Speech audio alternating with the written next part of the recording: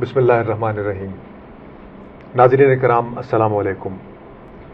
ہمارے درمیان آج ایک ایسی شخصیت موجود ہے جن کے لیے اردو ادب کا طالب علم، زبان اردو کا عاشق اور لٹریچر، شعر و سخن اور اس میں ہمہ وقت اپنی زندگی کو سنوارنے اور گم رکھنے والا انسان جو ہے وہ ہمیشہ چاہتا کہ ڈاکٹر گوپی چند نارنگ کاش کے وہ ایک دفعہ تشریف لاتے اور ان سے گفتگو ہوتی۔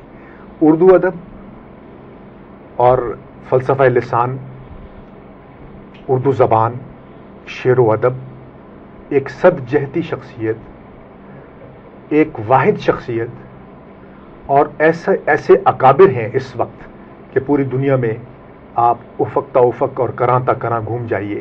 ڈاکٹر گوپی چند نارنگ کی کوئی مثال آپ کو نہیں ملے گی۔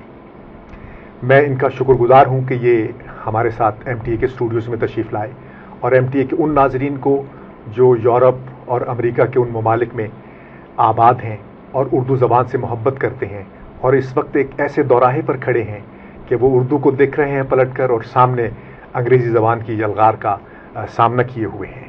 ڈاکٹر صاحب، آج ہمیں بہت سے ایسے سوالوں کے ضرور جواب دیں گے جو میں نے پرسوں بھی سنے آرٹس کونسل میں جب ڈاکٹر صاحب تقریر فرما رہے تھے۔ اور انہوں نے خود کہا کہ یہ میرا جو کام ہے یعنی یہ جو الفاظ میں نے ڈاکٹر صاحب کی تعریف میں بولے ہیں، اتنے کم ہیں، اتنا وقی کام ہے۔ اردو زبان کی وسعت اور پھیلاؤ کے لیے اتنا آفاقی اور اتنا ہمہ جہد کام ڈاکٹر صاحب کر چکے ہیں اور کر رہے ہیں مسلسل۔ اور خدا انہیں زندگی دے اور توفیق دے اور ہمت دے۔ اور ایک موجزانہ طور پر ان کو ایک اس طویل راستے کا جو ہے وہ مسافر رکھے اور اردو زبان کی خدمت میں اس طرح برابر جی جو تندہی سے مصروف ہیں، اس سے وہ لوگ جو یہ گمان رکھ کر بیٹھے ہیں، یہ قیاس کیے ہوئے ہیں یا کسی حد تک یقین کی سطح تک پہنچ رہے ہیں کہ شاید اردو زبان کو بہت زیادہ ضرب پہنچ چکی ہے اور اردو زبان جو ہے وہ خدا نخواستہ آئندہ چند صدیوں میں معدوم ہو جائے گی اور اس کی جگہ کوئی اور ایک مکسچر یا انگریزی زبان لے لے گی یا آگزلری لینگویج جسے کہتے ہیں انگریزی میں وہ لے لے گی۔ ایسا بالکل نہیں ہے۔ ہم ڈاکٹر صاحب سے آج سنیں گے۔ پہلے میں سب سے پہلے ڈاکٹر صاحب کا شکریہ ادا کرتا ہوں اور آپ کو شکر گزار تو میں ہوں آپ کا۔ نہیں ہم شکر گزار ڈاکٹر صاحب مجھے آپ کے شیڈول کا علم ہے۔ آپ کا آپ کا بھی شکر گزار ہوں ایم ٹی اے کا بھی شکر آپ کی محبت ہے۔ مجھے آپ کے شیڈول کا علم ہے آپ کے میزبانوں کا علم ہے۔ میزبانوں کا بھی یہ احسان ہے گران قدر آپ تشریف لائے ڈاکٹر صاحب میں چھوٹتے سے ہی یہ سوال آپ کی خدمت میں پیش کروں گا کہ تاکہ آپ کا وقت بھی بچے اور ناظر تک بھی وہ بات جو ہے وہ جلد از جلد پہنچنی شروع ہو جائے کہ اردو ادب اور اردو زبان میں ماشاء اللہ آپ نے اب تک ساٹھ سے زائد کتب جو ہے وہ تصنیف کی ہیں، مرتب کی ہیں۔ آپ کی ہمہ جہتی شخصیت جیسا کہ میں کہہ چکا ہوں، ایک نہایت بہترین منتظم اردو کے طور پر میں آپ کو کہوں گا۔ یعنی ایک جیسے ہوتے نا، جیسے چھوٹے چھوٹے کمپیئرز، لوگ جیسا کہ یہ حقیر آدمی خود آپ کے سامنے موجود ہے۔ آپ کا پوری زبان اردو کا منتظم ہونا یعنی اتنے سیمینار جو گزشتہ پچاس سال کی دہائیوں میں آپ نے بپا کیے ایک عہد ساز کارنامہ آپ نے انجام دیا جو بر صغیر میں کسی اور کے بس کی بات نہیں تھی اور کسی نے کیا بھی نہیں۔ کہ اردو لٹریچر کے حوالے سے وہ اتنے بڑے بڑے کام کر جاتا میر پر افسانے پر غالب پر شیر پر کہاں اور کہاں نہیں۔ اور پھر آپ لوگوں کو بلاتے رہتے ہیں۔ ولی ولی دکنی ولی دکنی کی سبحان اللہ ولی کی کتاب بھی پڑھی ہے۔ یہ اردو کی نئی بستیاں۔ سبحان اللہ اردو کی نئی انیس دبیر انیس دبیر سبحان اللہ۔ کوئی گوشہ؟ اطلاقی تنقید۔ اطلاقی تنقید وہ میرے پاس ہے بلکہ مجھ تک پہنچ گئی۔ اطلاقی تنقید نئے تناظر اور پھر جدیدیت کے بعد یہ سوالات اٹھے نیا اردو افسانہ۔ نیا اردو افسانہ۔ سبحان اللہ سبحان تو ڈاکٹر صاحب سوال یہ ہے سب سے پہلا کہ یہ جو قار عشق تھا کیا اس کو آپ نے جانتے بوجھتے ہوئے منتخب کیا؟ یہ پہلا سوال ہے۔ عرض ہے کہ میں پاکستانی ہوں۔ یہ میرا وطن ہے۔ کیا کہنے؟ میں یہیں پیدا ہوا۔ میں بلوچستان کی مٹی سے تعلق رکھتا ہوں۔ سبحان اللہ۔ اور میں جب جب پاکستان آتا ہوں کراچی تو بہت برسوں کے بعد آیا۔ تو میرا سفر پاکستان سفر عشق ہوتا ہے۔ اردو مبارک صاحب میرے لیے بھیدوں سے بھرا ہوا ایک بستہ ہے۔ سبحان میری والدہ سرائکی بولتی اچھا۔ میرا ننہال لیا ضلع مظفر گڑھ کا۔ یہ سب لوگ سرائکی بولنے والے جی۔ کھیس بنانے والے۔ کھڈی کا کام کرنے والے۔ اور س- س- سنگے اس کا ہاتھی دان۔ ہاتھی دان ہاتھی دانت کی مصنوعات بنانے والے میرے عزیزوں رشتہ داروں میں۔ والدین میرے اور ددیال میری کاشتکار تھی والد صاحب چونکہ خاندان میں پڑھے لکھے تھے جی۔ اور میرے ماموں متوال چند دیوان تھے نواب صاحب قلات اور یہ ان کی وجہ سے اچھا، میرے اچھا، والد صاحب ڈومیسائل ہو کر سیٹل ہو گئے۔ تو میں پڑھا اسکول پرائمری مڈل سب میں نے بلوچستان کی پہاڑیوں میں۔ اور میں نے یہیں کے چشموں کا پانی پیا ہے۔ تو والد صاحب پشتو بولتے تھے بلوچی بولتے تھے۔ قلات کی قلات جی میں لورلی کی بات کر رہا ہوں۔ جی۔ سنڈے من فورٹ سنڈے من کی بات۔ دال بندی دال تو یہ یہ سارا یہ سارا علاقہ جی۔ اور پشین پشین۔ کوئٹہ اور قصہ یہ ہے کہ اسی زمانے سے اردو ایک طرح سے رابطے کی زبان تھی ہوتے ہوتے ہوتے میرے رگو پہ میں یہ زبان ایسے سمائی اور اس کا جادو کچھ اس انداز سے میرے ذہن و شعور میں سرات کر گیا کہ جب میں ہجرت کر کے وہاں پہنچا ہوں اور میں سائنس کا اسٹوڈنٹ میٹرک کا جی۔ اور میں اپنے میں ضلع میں اول آیا تھا ابھی تک وہاں کے آنر بورڈ پہ میرا نام نام ہو گیا جی۔ لیکن میں جب آزاد ہوا والد صاحب یہیں تھے جی۔ تو پاکستان سروس کو آپٹ کیا تو آئے نہیں دلی۔ میں عزیزوں کے پاس دلی پہنچ گیا اور وہاں میں نے پڑھنا شروع کیا۔ پھر ہوتے ہوتے دلی کالج پہنچ گیا۔ جہاں عبادت بریلوی صاحب۔ اور ہجرت سے پہلے بابائے اردو مولوی عبدالحق وہاں سبرس کا درس دیتے پرانا تا- تاریخی کالج ہے۔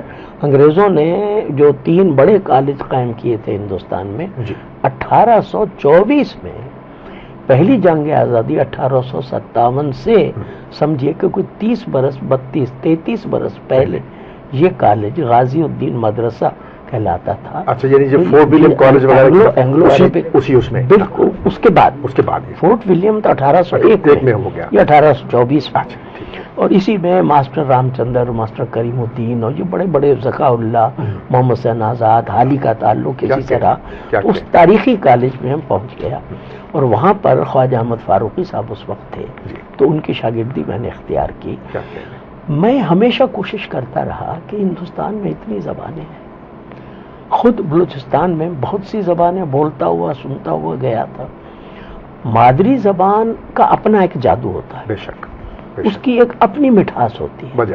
میں ہر کسی کی مادری زبان اس کے لیے بہت اہم ہے۔ میں بے حد احترام کرتا ہوں۔ بے شک۔ لیکن اردو ایک ایسی زبان ہے جو جس کی کشش ہاں ہاں ہاں۔ جس کی دل نشینی جس کا حسن جس کی حیرت۔ حیرت۔ اور جس کی ایک جس کو کہنا چاہیے جمالیاتی اور تخلیقی صلاحیت جس نے ایک سامی خاندان اتنا بڑا خاندان ہے عربی خاندان آپ. کو معلوم ہے جی۔ دنیا کی بڑی زبانوں میں۔ آج عربی کا شمار ہوتا ہے کیسی۔ کیسی کہ اور اس میں یعنی جو طلاقت ہے اور جو فصاحت ہے بجا۔ جو بلاغت ہے اور اس میں ایک ایک مادے سے اب کتنے کتنے- لفظ اور اس کی جو صرفیات ہے۔ اچھا اس کا اثر اس نے جذب کیا۔ پراسرار طریقے پر۔ اچھا۔ عربی۔ عربی کے اثرات تو جذب کیے فارسی نے۔ ہاں، فارسی نے۔ ہم نے تو سب کچھ فارسی سے زیادہ ترقص کیا آپ کو۔ معلوم ہے۔ بالکل جیسے غزل اس میں آئی فلاں آئی فلاں آئی اصناف وہاں سے لیے سب کچھ لی سب- موضوعات وہاں سے لیے معیارات وہاں سے لیے۔ عروض عربی سے فارسی میں آیا۔ فارسی سے ہم نے لیا۔ مرکب الفاظ آئے ترقی اچھا پھر آوازیں۔ ان کا جو نگار خانہ ہے۔ اچھا عربی کی صوتیات جذب ہوتی ہے فارسی میں۔ آپ کو تو معلوم ہے عربی میں پے کی آواز نہیں ہے۔ عربی میں چے کی آواز۔ نہیں ہے۔ جس کو ہم چے کہتے ہیں گاف نہیں ہے۔ یہ تین آوازیں ہمارے پاس تو تھی ہنداریائی میں۔ بہرحال اس کے علاوہ غین کی آواز۔ بالکل۔ جیسے غم میں غور میں۔ فے کی آواز جیسے فائدہ میں۔ اور خے کی آواز جیسے خدا میں۔ خوف میں خورشید میں۔ اور زے کی آواز جو سب سے کراری آواز۔ اور زے کی آواز زواد کی آواز زوئے کی آواز یہ ساری آوازیں زم ہو کے ایک ہو گئی۔ اب یہ بھی جادو ہے۔ عربی میں سب سب ان کے مخارج الگ الگ ہے۔ ہیں۔ فارسی میں زم ہو گئی۔ فرق ہمارے یہاں آ کے زم ہو گئی۔ ہے کی دو آوازیں تھیں عربی میں ہمارے یہاں زم ہو گئی۔ پھے کی آواز ایک ہے آپ چاہے ہوا کہیں۔ یا چلنے والی ہوا کہیں ہاں۔ تلفظ اسی طرح۔ لہجہ ایک ہے۔ توئے کی تے کی آوازیں دو تھیں توئے اور تے زم ہو گئی۔ لیکن اس پر اب اور فرمائیے۔ جو خالص آواز تھی دھرتی کی اس سرزمین کی جہاں آ کے مسلمان تبتن اختیار کرتے اور مسلمانوں کا اختلاط اور رابطہ اور کاروباری اشتراک اور تہذیبی لین دین شروع ہوتا ہے گیارہویں صدی بارہویں صدی تیرہویں صدی میں۔ یہاں کی آوازوں میں ڑے کی آواز بہت خاص ہے۔ بہت خاص ہے بالکل۔ ٹے کی آواز بہت خاص ہے۔ جیسے ٹوٹنا میں ٹوٹنا ہیں؟ ڑے کی آواز جیسے پڑھنا میں۔ چڑھنا میں اور گڑھنا میں اور اس کے ساتھ ساتھ ڈال کی آواز جو دال ہندی جس کو ہم کہتے ہیں ڈالنا میں ڈھول میں. میں. اچھا ان کے جتنے ہکار روپ ہیں تمام بندشی آوازوں کے ہکار روپ جیسے بے کے ساتھ بھا بھاری میں بھول میں. ٹے کے ساتھ پا پھول میں. تے کے ساتھ تھا تھوڑا میں ہتھوڑا میں ہاتھی میں. اچھا اسی اسی اسی طرح سے جیم کے ساتھ جھا جیسے جھاڑی اور چے کے ساتھ چھا جیسے چھاؤں کا کے ساتھ کھا جیسے کھاری گا کے ساتھ گھا جیسے گھوڑا میں۔ آٹھ اور تین وہ آوازیں ماکوسی ریٹروفلیکس جو میں ٹے اور ڈال اور ڈال اور ان کے آکار روپ۔ ٹھیک۔ چودہ آوازوں کا اضافہ۔ چودہ آواز اور ہم نے قا اور فا اور خا اور زا اور غا پانچ آوازیں ادھر سے۔ کیا اب جناب علی چودہ آوازیں دیسی پانچ آوازیں سامی اور ایرانی۔ ایک آواز اب کبھی تجزیہ کیجیے جی۔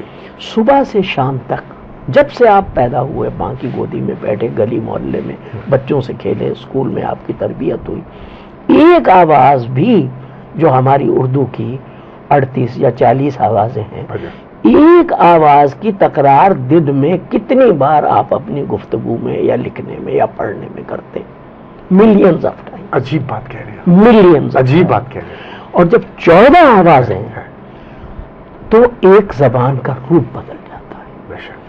اچھا جیسے اس سے آتشہ کیفیت جب شرابیں شرابوں میں ملتی ہیں ہیں۔ فیض کا۔ مصرع یاد آتا ہے. تو۔ ایک سے آتشہ کیفیت پیدا ہوتی ہے۔ میں شعری استعارے کے طور پر کہہ رہا ہوں۔ کہ کسی کے وہ یعنی وہ اور- علامہ اقبال نے کیا خوبصورت بات کہی اپنے ایک مصرے میں۔ شکوہ ترکمانی ذہن ہندی ہاں ہاں۔ نطق ایران ایرانی۔ ایران واہ واہ۔ واہ واہ واہ۔ واہ نطق شکر۔ نطق ایرابی عربی عرب سامی خاندان کا نطق وہ صلاحیت زبان لسان کی قوت اور شکو ترکمانی؟ اور فارسی کا اور ایرانی اور ذہن ہندی۔ وہ تو خود کو کافر ہندی کہتے تھے۔ اور یعنی رمز آشنا ہے یعنی کافر ہندی رمز آشنا ہے روم و تبریز۔ تو اردو ایک ایسا سے ایک ایک ایسا جادو بن جاتی ہے۔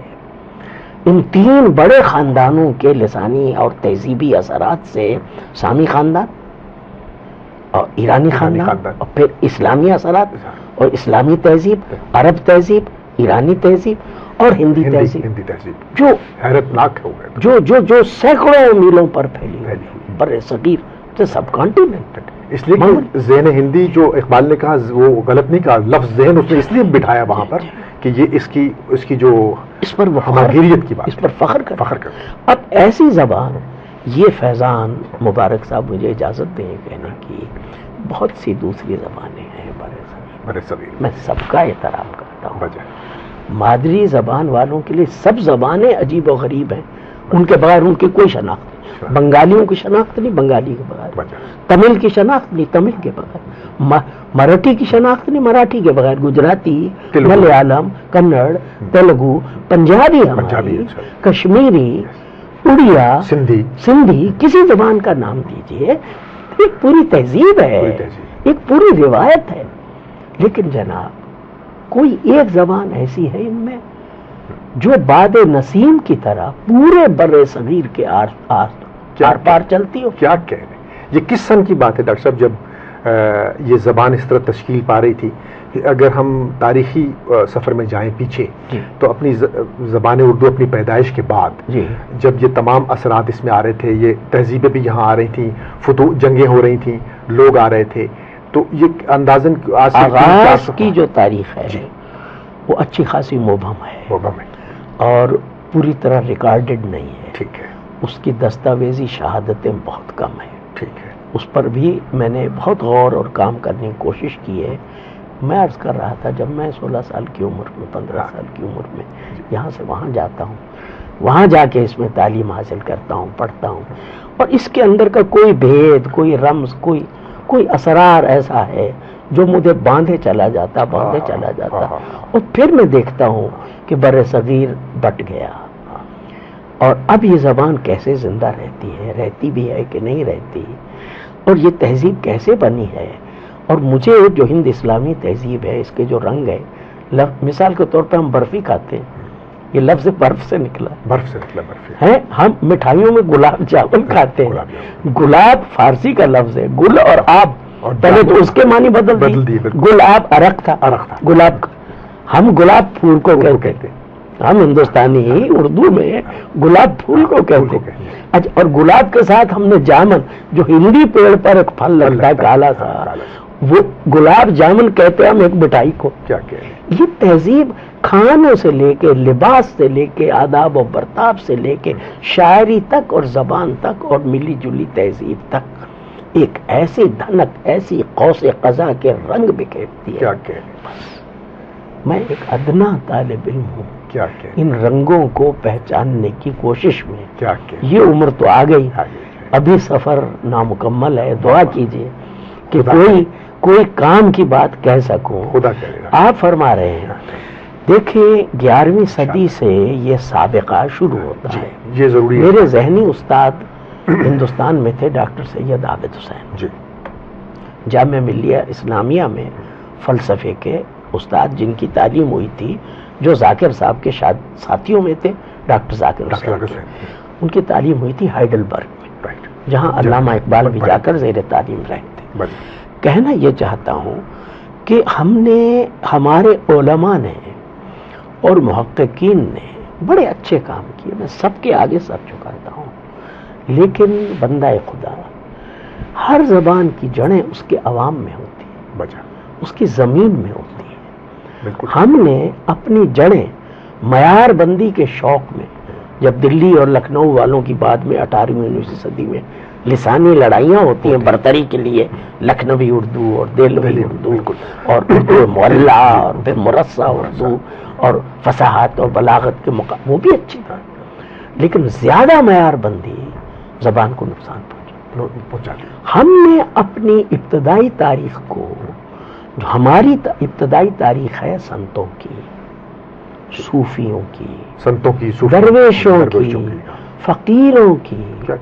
اور اولیاء اللہ کی کیونکہ یہ لوگ عوام تک اپنا وحدانیت کا پیغام لے جانا چاہتے ہیں۔ بے شک۔ سمجھے؟ انسانیت کا روحانیت کا پیغام یہ درس دینا چاہتے ہیں عوام کو۔ عوام بولیاں بولتے ہیں بولیاں ٹھولیاں۔ کہیں سرائے کی ہے کہیں پنجابی ہے کہیں برج بھاشا ہے۔ کہیں کھڑی بولی ہے کہیں اودھی ہے کہیں راجستھانی ہے ٹھیک؟ کہیں مراٹھی ہے۔ تو یہ فارسی میں تو نہیں درس دے سکتے۔ عربی میں تو درس نہیں دے سکتے۔ عربی میں قرآن مجید پڑھنا سکھائیں گے نماز پڑھنا سکھائیں گے لیکن جو روحانیت کا درس دلوں میں اتاریں گے اس کے لیے تو عوام کی زبان چاہیے۔ بالکل۔ تو امیر خسرو پہلے شخص ہیں ریکارڈڈ ہسٹری میں۔ لیکن وہ بھی کہتے ہیں کہ مجھ سے پہلے ایک شاعر گزرا ہے مسعود سعد سلمان۔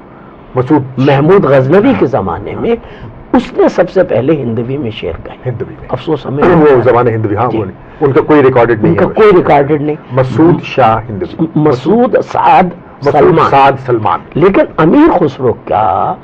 کی کہ کیا مکرنیاں؟ پہیلیاں دوئے ان کے منڈے ان کا بابل ان کے ساون ان کی قوالیاں آج پورے بر صغیر کے ہندو ہو یا مسلمان اجتماعی لاشعور کا حصہ ہے بے شک۔ ہم ان۔ کی فارسی شاعری کو پہچانے بہت عظیم فارسی شاعر ہے ہندوستان کا وہ۔ تین بڑے شاعروں میں سے ایک۔ بلا شبہ۔ لیکن جو اس کا ہندوی کلام ہے وہ آج بھی زبانوں پر ہے۔ لوگ قوالیاں سنتے ہیں سر دنتے رنگ اس طرح کے شعر ہاں۔ زحال مسکی ریختہ ہاں۔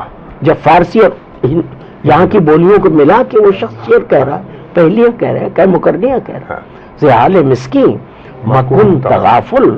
درائے نینا بنائے بتیاں ہاں۔ سخی پیا وہ رس دیکھیے۔ کیفیت دیکھیے۔ سخی پیا کو جو میں نہ دیکھوں تو کیسے کاٹوں اندھیری رہتی تو کیسے کاٹوں اندھیری رہتی تو یہ زبان جو ہے گھٹلیاں چلنے لگتی ہے۔ ایک بننے لگتی ہے بازاروں میں گلیوں میں محلوں میں فقیروں کے تقیوں پر ان کی خانقاہوں میں؟ درگاہوں میں اور جتنے سنت ہیں صوفی بھی اور سنت بھی اب کبیر بھوجپوری بولنے والا ایک ان پڑھ ان پڑھ وہ بنارس کے نواز سے کہیں سے چلتا ہے راجستھان تک کہاں کہاں تک سفر کرتا ہے نانک جن کا کلام گرو نانک میں ملتا ہے بابا فرید کا کلام بلے شاہ کا کلام بہت سے پنجابی صوفیہ کا کلام گرو گرنتھ صاحب میں ملتا ہے۔ یہ سب عوامی بولیاں۔ اچھا اردو اس لیے بڑی زبان ہے کہ اردو نے اپنے دروازے کھلے رکھے۔ کبھی کسی دوسری زبان پر بولی ٹھولی پر گری پڑی زبان پر بھی معمولی عوامی زبان پر جس کو ہم کہیں گے ارے یہ تو یہ بازاری- تو یہ تو بازاری چیز ہے۔ آمیانہ ہے آمیانہ لہجہ۔ جو بعد میں معیار بندی کی وجہ سے بہت سی چیزوں کو ہم ریجیکٹ کرتے ہیں۔ آمیانہ کہہ کر اردو نے اپنے ارتقائی سفر میں کسی چیز کو آمیانہ کہہ کر reject سب کو اپنے دسترخوان پر جگہ دی اپنے دل کو کشادہ رکھا اپنے دامن کو جہاں جہاں گئی پھولوں سے بھرتی گئی۔ دیکھو کہیں یہ پنجابی کی انگلی پکڑے ہوئے جو محمود شیرانی جی، کہتے ہیں۔ اردو پنجابی سے نکلی۔ بالکل کہیں یہ برج بھاشا کی انگلی ہاں۔ پکڑے ہوئے۔ بالکل۔ آگرہ کے رہنے والے۔ محمد حسین آزاد کے۔ ذہن پر اثر تھا وہ کہتے ہیں اردو برج بھاشا سے نکلی۔ ہمارے مسعود حسین خان صاحب کہتے ہیں نہیں نہیں نہیں نہیں۔ دلی کے نواب میں تو سب یہ ہریانے رہتے تھے۔ یہ ہریانوی زبان سے نکلی۔ اور اصل معیاری اردو کی جو بنیاد ہے وہ تو کھڑی بولی پر ہے۔ کیا ورنہ جو لہجہ تھا پڑا لہجہ ہاں۔ مغلوں کے میرا خیال اچھا کھڑی کی تاریخ بھی نہیں ملتی۔ ہاں اس کی بھی نہیں میرا خیال ہے کہ برج بھاشا کا ڈنکا بجتا تھا۔ کرشن بھکتی کی وجہ سے اس زمانے۔ اور جتنا بڑا ادب ہے اس زمانے کے ہندی کا سورداس میرا بائی سب اور گیت کا سرمایہ اور شاعری اور بھجن اور عقیدت جتنی بھی ہے ہندوؤں کی اس زمانے میں۔ چودہویں پندرہویں سولہویں سے برج بھاشا اور سنسکرت کی جانشین برج سمجھی جاتی۔ تھی اس لیے برج کا لہجہ آیا جو میر کے ہاں آتا ہے میر آگرے کے ہاں، میر مت۔ بولی ہو جیو ہاں، ہاں، بالکل۔ دل آوے ہاں، سو کیجیے کیجیے، پیارے ہاں۔ ایک ہونا نہ در پائے آزار یہ۔ میر تقویر میر ہے۔ اور میر اپنے کو میر جی کہتے ہیں جی یہ بھی برج بھاشا کا اثر ہے لیکن جب شاہ جہان کے زمانے میں پایا تخت آگرے سے دلی آتا۔ ہے لال قلعہ بنتا ہے جہاں مسجد بنتی ہے چاندنی چوک آراستہ ہوتا ہے دلی شاہ جہان آباد بن کے نکھرتی ہے دلی تو سات بار اجڑی سات بار بسی۔ شاہ جہان آباد جب بستا ہے تو اردو اردو محلہ بن جاتا اردو بولنا اور وہ جو بنیاد ہے اردو کی فصیح معیاری اردو وہ کھڑی بولی وہ کھڑی ہوئی اور وہ جبھی غالب اردو ہے محلہ کی بات کرتے ہیں۔ اردو محلہ کی بات۔ غالب یہ یہ اردو کا سفر سفر۔ ارتقائی سفر ہے۔ ہاں۔ اور پھر آپ کو معلوم ہے میر تقی میر ہیں سودا ہیں۔ پھر غالب کا زمانہ ہے مومن ہے اپنے شیفتہ ہیں۔ اور, اور, اور ان سے پہلے قائم ہیں بیدار ہیں تابع ہیں یقین ہیں افغان ہیں اور بہت ایک پھر لکھنؤ میں ناسخ ہیں۔ اور آتش ہیں۔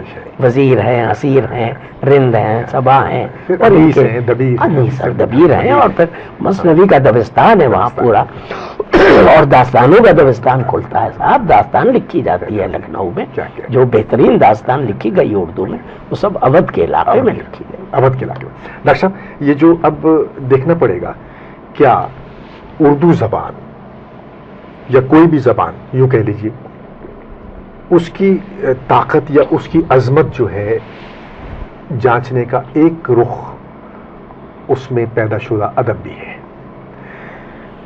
کیا اردو میں جو ادب اب تک پیدا ہوا لکھا گیا تخلیق ہوا؟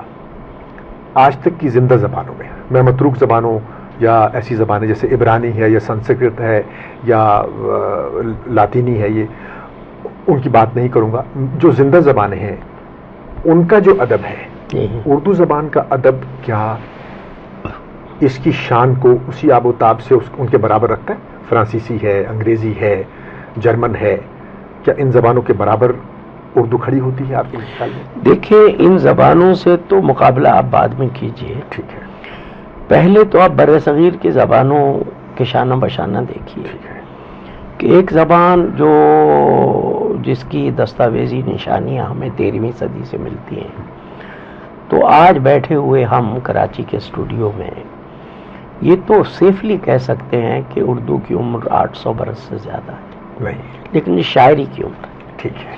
ہماری علمی نثر کی عمر جو ہے وہ تقریباً دو سو برس یا اس سے تھوڑی زیادہ۔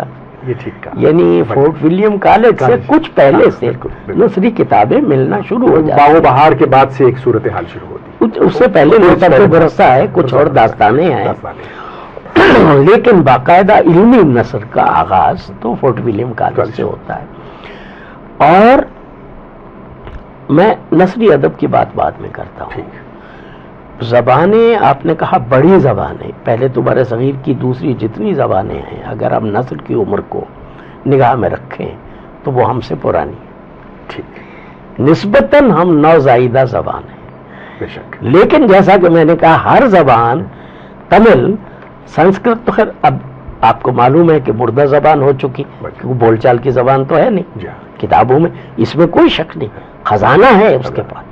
تمام ہندوستانی فلسفہ وید پران شاستر مقدس کتابیں گیتا یہ سب سنسکرت میں ہے۔ ریچولز کی زبان بھی. سنسکرت ہے۔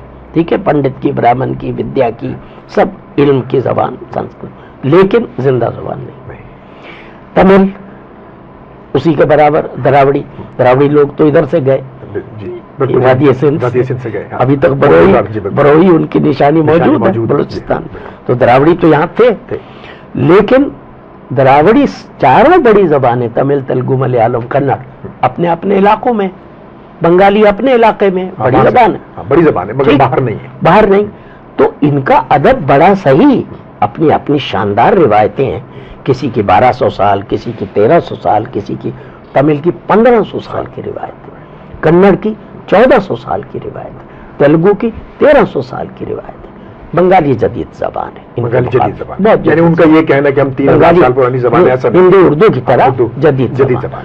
ہم سب سے نسبتاً قوم کم لیکن۔ سب سے زیادہ پھیلی میری زبان ہے اردو۔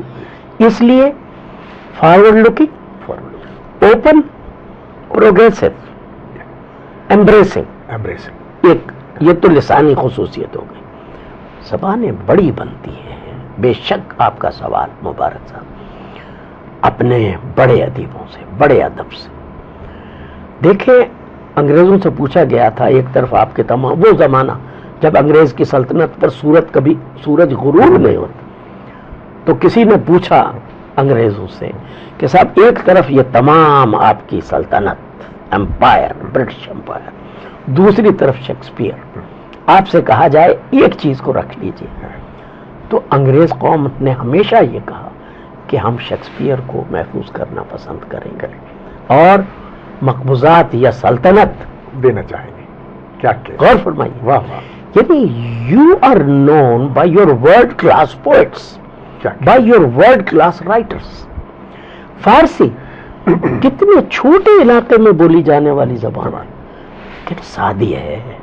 خیام ہے فردوسی ہے حافظ ہے حافظ ہے ویدل ہے۔ بیدل بیدل تو خیر ہمارے ہاں ہمارے یہاں یہ چار اتنے بڑے شاعر ہیں۔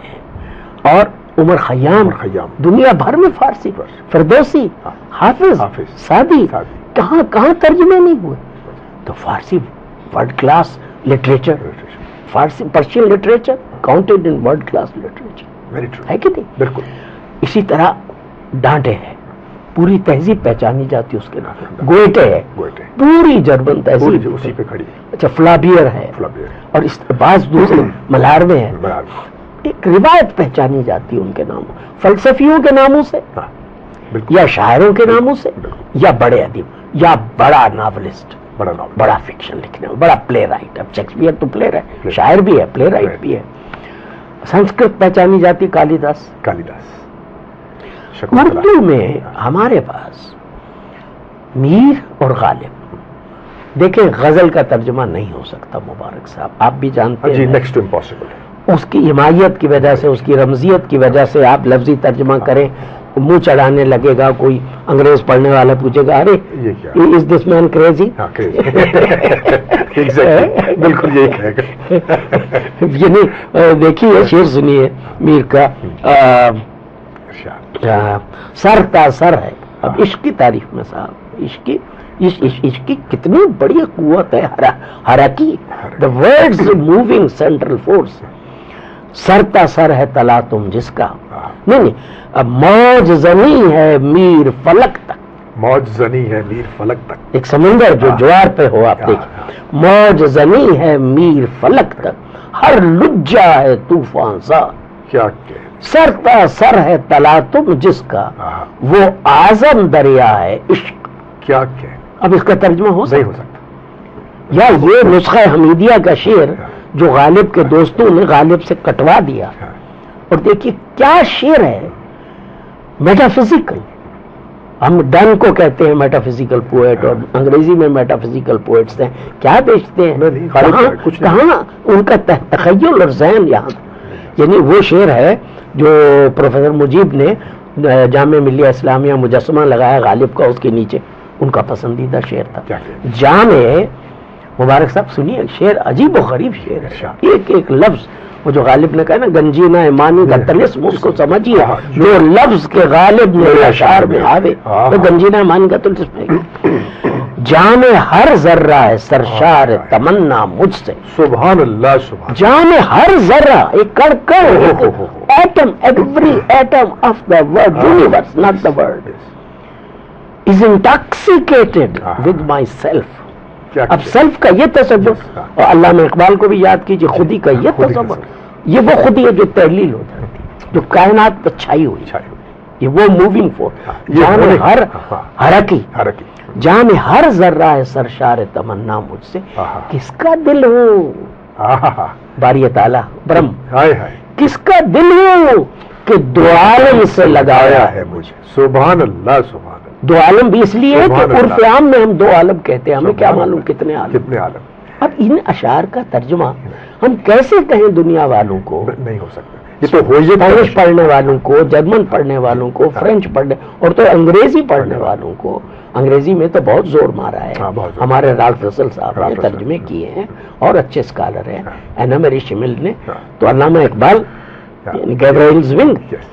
مگر اقبال کا پورا ترجمہ بھی اس فورس کے ساتھ طاقت کے ساتھ یہ ہمارے غالب میر اقبال انیس نذیر ورڈ اور پھر میں کہوں گا علامہ اقبال فوراً بعد۔ ہمارے پاس دو ایسے بڑے شاعر ہیں تین۔ فیض فراق۔ کیا اور جوش۔ جوش۔ جوش ایک اپنی الگ وضع بیانیہ وضع۔ بیانی وضع لیکن زبان کی وہ جو طاقت people can qualify as word poets اس لیے میری زبان بڑی۔ اچھا نثر کی عمر دو سو سال۔ ذرا ادھر بھی دیکھیے۔ جی۔ جو داستان کا دفتر میرے پاس ہے داستان امیر حمزہ کا جواب ہے۔ بچا۔ بستان خیال کا جواب ہے۔ بچا۔ آپ اور تو اور جس کے مصنف کا نام معلوم نہیں قصہ چار درویش۔ اس پر مبنی مختصر داستان باغ و بار اس کا کوئی جواب ہے۔ میری مصنویوں کا کوئی جواب ہے سیر البیان کا یا گلزار نسیم کا۔ یا زہر عشق کا؟ ان سب کو چھوڑ دیجیے میرے افسانے کی عمر۔ بہت مختصر ایک سو۔ سال۔ سو سال۔ ہیں؟ س- ی- یلدرن یا پریم چند سے لے کر اور آج تک ایک سو سال ایک سو چار ایک سو تین۔ اگر انیس سو چار کو پہلا افسانہ مانے یا زیادہ زیادہ بیسویں صدی چلیے۔ Prem Chand high point. جی۔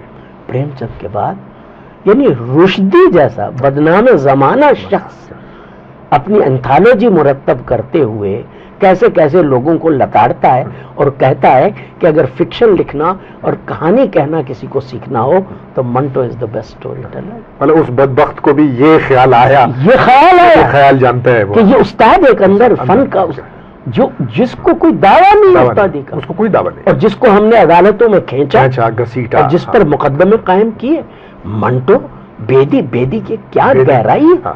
اور جو عورت کا تصور بیدی کے ہاں ایک کائناتی بیدی اتنا نرم روی کے ساتھ وہ بات اور اتنی کائناتی یعنی عورت کے وجود کو اور اس کی اس کی اس کی اس کے رازوں کو جیسے کھولتا ہے ماں کا بیوی کا بیٹی کا۔ آرکیٹائپل ہاں، تصور۔ عورت کا دیتا ہے۔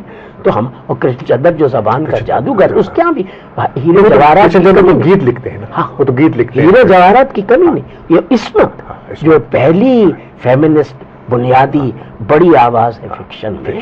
جب میرے پاس ایسے ایسے ان کے masters- نیچے ان کی ممتاز شیری ہیں غلام عباس ہے پھر تو یہ کہکشاں ہے میرے پاس۔ ڈاکٹر ناول سو برس کے فکشن میں۔ ناول میرے ہاں کمزور ہے۔ کمزور ہے۔ تو کیا ناول کی روایت کمزور ہے؟ لیکن ادھر پچھلے پچیس تیس چالیس برسوں میں کچھ اچھے ناول بھی لکھے گئے۔ اچھا۔ بے شک گودان ہمارا۔ ایک بڑا ناول ہے۔ آگ کا دریا ہمارا بڑا- ناول۔ ہے۔ اس کے بعد دو چار اور بڑے ناولوں کا بھی خدا کی بستی اس میں آئے گا۔ اداس نسلیں آئے گا۔ اور بعض یعنی ظاہر ہے انتظار حسین کا بستی۔ میں اس وقت فکشن میں فکشن جو ادھر پچاس برسوں کا ہے جی۔ اس کو جیسے غالب انیسویں صدی کا نصف آخر شاعری میں غالب کا عہد میں کرا۔ ٹھیک ہے؟ ٹھیک۔ اور بیسویں صدی کا نصف اول پہلی چار دہائیاں۔ علامہ اقبال کی آنکھ بند ہونے تک علامہ اقبال کا۔ ٹھیک۔ کوئی اس میں دو رائے ہو دو رائے۔ نہیں ہو سکتی۔ اسی طرح سینتالیس کے بعد کا جو زمانہ ہے پوسٹ انڈیپینڈنس اردو فکشن میں ہندوستان میں قرۃ الحیدر اور پاکستان میں انتظار۔ انتظار حسین ہمارے فکشن کی شناخت کرتے ہیں لوگ لاکھ اختلاف کریں۔ اپنی اپنی باتیں بنائیں۔ لیکن ان کا جو انہوں نے دیا ہے اردو کو اردو کو they have enriched Urdu. They have enlarged the horizons of Urdu کاش ان کے جو کچھ انہوں نے لکھا انتظار حسین کی نثر کا بین السطور بول ہاں، میں نے سطر بولا اور قرۃ الحیدر ہاں۔ کا جو تاریخی شعور ہے اور جس طرح سے وہ جو ہند اسلامی تہذیب پیدا ہوئی تھی، ایک ملینیم میں، جس طرح سے زد میں آ کر تقسیم کی، نئے سوالات کی زد میں آئی اور نئے چیلنج کی زد میں آئی اور اس کے بعد آج بڑے سوالات اس پر قائم ہیں کہ آپ کی پاکستان میں آئیڈینٹی کیا ہے، شناخت کس چیز پر قائم ہوگی؟ تہذیبوں کی شناخت ہمارے ہاں تہذیبوں کا تصادم ہے، دنیا میں آج کل تہذیبوں کا تصادم ہے۔ یہ ہمارا فکشن بڑے سوالات کو وہ اٹھاتا کر رہا ہے۔ کیا آنے والے آج اور آنے والے کل میں آپ دیکھتے ہیں کہ زبان اردو اپنی اصناف کے بل بوتے پر وہ اپنا جو اس کا فرض ہے یا اس کے لکھنے والے کے جو فرائض ہیں، ذمہ داری ہے، وہ ادا کرنے کے قابل ہے ان دنوں؟ آج آنے والے کل میں۔ ہے وہ تھوڑا سا کام میں نے کیا ہے نثری نظم پر بھی۔ اور ایک زمانے میں میرے دو دوستوں نے جن کی میں بہت قدر کرتا ہوں اور ان کا احترام بھی کرتا ہوں ان کی خدمات کی وجہ سے وزیر آغا صاحب بزرگ ہیں میرے اور شمس رحمان فاروق صاحب جی۔ تو تو وزیر آغا صاحب تو کہتے تھے اس کو نثری نظمی ترکیبی غلط ہے۔ تو اس کو نثر منصور کہنا چاہیے یا نظم نثر منظوم کہنا چاہیے۔ اور شمس الرحمان سوال پوچھتے ہیں کہ بھائی نثری نظم کا جوازی کیا ہے؟ تو میں نے کہا کہ بھائی میں آپ سے سوال پوچھتا ہوں کہ جب قصیدے کی تشبیب سے غزل پیدا ہوئی تو اس پر غزل کا جواز کیا اصناف اپنی جگہ خود بناتی ہیں۔ ان کا کوئی منطق نہیں ہوتی اور جیسے آپ نے معاشرہ ہاں جی۔ معاشرہ ضرورتوں کے تحت اچھا۔ نہیں جب ہندوستان کی تمام زبانوں میں نثری نظم لکھی جا رہی ہے۔ یورپی یورپ کی تمام زبانوں میں چلیے اب مغرب کی بات نہ بھی کریں کہ یورپی زبانوں میں نثری نظم ہے کہ نہیں ان میں ایکسنٹ ہے ہماری زبان میں ایکسنٹ نہیں ہے ارے ایکسنٹ نہیں ہے انٹونیشن تو ہے۔ آپ اپنے انٹرنیشن سے بول رہے ہیں میں اپنے انٹرنیشن میرے انٹرنیشن کو خارج کر دیجیے۔ میری اردو بالکل سپاٹ ہو جائے گی۔ وہ ترسیل میں کمی آ جائے۔ انٹونیشن جو ہے بل ہے جو لہجہ ہے لہجے کا اتار ہے لہجے کا چڑھاؤ ہے۔ ہمارے اچھے شاعر انیس تو آئینے کے سامنے بیٹھ کے برابر مشق کرتے تھے۔ بالکل۔ ہمارے بعد بالکل کہ شعر کو لفظ کو ادا کیسے کرنا ہے؟ حرف کو ادا کیسے کرنا ہے۔ ارے انٹونیشن اردو میں بل ہے۔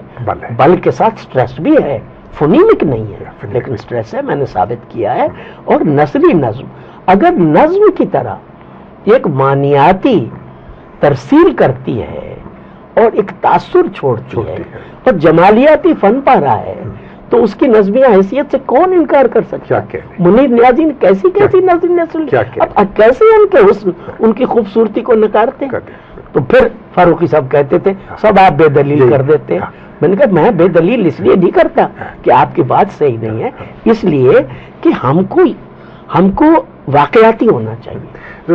گراؤنڈ ریالٹی کو دیکھنا یہاں پر۔ یہ سوال پیدا ہو رہا ہے۔ ہوں۔ جیسے شمس الرحمان فاروقی صاحب کا بھی وہ معتبر نام ہے اور آپ نے بہت انہیں ظاہر ہے داد بھی دی ہے ان کے پورے کام پر۔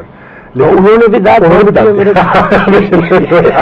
اس لیے آج یہ مسئلہ بھی حل ہو گیا کہ اختلاف ہے سچ کوئی نہیں نہیں ہوا۔ نہیں نہیں دوست ہے ہاں ہاں۔ بات یہ ہے لیکن نظریاتی اختلاف نظریاتی- اختلاف۔ باتوں سے نظریاتی اگر ڈاکٹر نظریاتی اختلاف نہ ہو تو آگے کا سفر رک اب دیکھیے یعنی جدیدیت کا جو ابتدائی زمانہ ہے اس میں خود میں بہت سی باتوں کی کیونکہ جدیدیت ایک باغیانہ رویہ تھا ترقی پسندی it had turned its full circle اور جب ترقی پسندی پروپیگنڈے میں ایک سیاسی پروپیگنڈے میں تبدیل ہونے لگی ہاں۔